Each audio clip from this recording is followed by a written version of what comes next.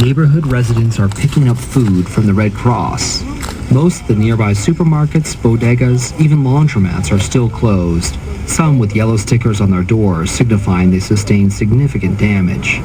Five feet of water covered this spot after Sandy. The Bloomberg administration hopes that one day 25 story buildings will rise here instead. Oh, Nate Bliss is a vice president for the Surprise, city's Economic. Development Corporation in charge of the project. The underlying rationale behind the rezoning is as important as it ever was. The amusement area would be expanded. Surf Avenue would become a lively boulevard. The first floor of the buildings devoted to retail. Bliss says the idea is to bring in a new demographic to the primarily low-income area.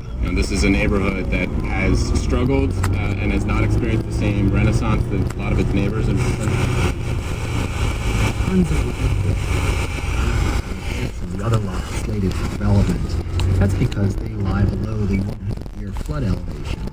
The new buildings would also have to conform to modern codes and have electrical boards and other mechanical parts located above the flood level. Some of those techniques are also planned or underway in the other rezoned areas. They include Willets Point and Hunters Point South, both in Queens, and Manhattan's far west side, where ground was broken this week.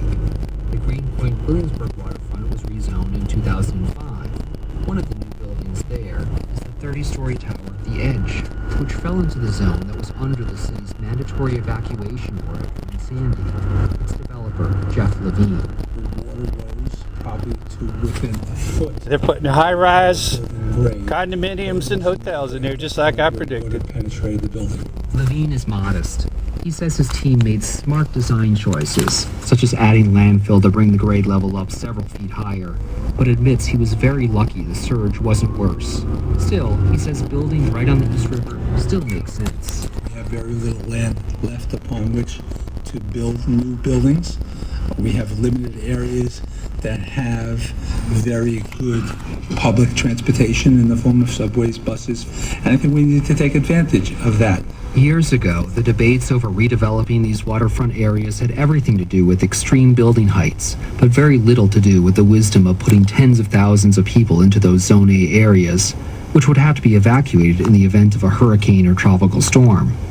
Levine says measures have to be taken to protect residents, but that there's not enough reason to stop developing the waterfront entirely. And I've never had a second thought about populating Zone areas uh, because Fucking Jews are the ones the behind it. water a wonderful attraction for people as an amenity. Officials from the city planning department say since Sandy, they've been reviewing zoning and building codes to see if they need changes, but that new buildings constructed to current codes generally did fare better than older structures. But planners and architects caution that may not always be the case. I think we're involved with a moving target. That's Lance J. Brown, a professor at City College's School of Architecture. Mayor Bloomberg's own panel on climate change, for instance, predicts that sea levels could rise another two to four feet over the next 70 years. That means the edge, instead of surviving a foot above Sandy's surge, could end up a few feet underwater next time. Jim Garrison, an architect and adjunct professor at the Pratt Institute, points out another potential challenge for building along the coast. Any action to control nature elicits an equal reaction. if you look at it as a comprehensive watershed management issue, Sandy was a total land grab, that you don't build. and it, it devastated As it happens, mostly the waterfront areas. say most of the flooding in Coney Island came not from the ocean, but from a bay on the north side of the neighborhood. And this is what they want to redevelop. Put in their fancy hotels and high rises and condominiums, just as I predicted. Sandy's storm surge made its way around the peninsula and attacked where the banks were lower. The city's plan to add landfill as part of the rezoning could have a similar effect. It will keep the new buildings dry, but could cause more flooding in other parts of the neighborhood. For WNYC, I'm Matthew Schuerman. They want to rezone it, put all their fancy fucking hotels and condominiums in there. talked about the Chinese officials and private citizens. I knew- I knew that's and what was gonna happen. better informed on regarding the world's most populous country